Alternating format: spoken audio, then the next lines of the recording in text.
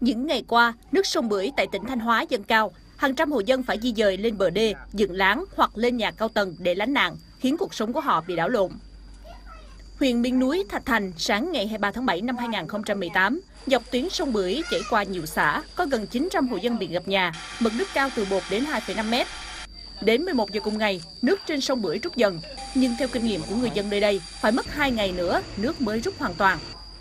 Dọc tuyến đê bao chạy qua xã Thạch Định, rất nhiều hộ dân đã kéo đồ đạc, vật dụng lên khu vực cao hơn. Cứ cách nhau 5 đến 10 mét lại có chiếc láng người dân dựng lên để ở tạm, chờ nước rút. lũ lụt lên thì gia đình chuyển lên đây ở hai ba hôm nay rồi. Hai hôm rồi. Nên ờ, cũng thấy anh cũng vất vả đấy. Ở đây là cũng năm nào thế. Có năm thì to năm nhỏ năm nay đỡ hơn đấy năm nay đó giường thờ chiếu trải chi là phải chạy đưa hết lên trên để nấu ăn thì cứ phải kê chạy lên bờ đê đó như các cháu thấy đó lợn gà rồi trâu bò chi là phải đưa hết lên trên bờ đê thôi mà một số gia đình thấy nước rút dần, cố gắng quay về nhà thì cũng chỉ ở được trên tầng 2 vì tầng 1 vẫn chìm trong nước.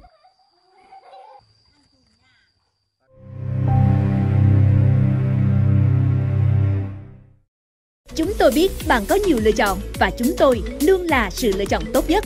Đăng ký kênh youtube Báo Thanh niên để cảm nhận nhịp thở xã hội đầy màu sắc trên màn hình của bạn.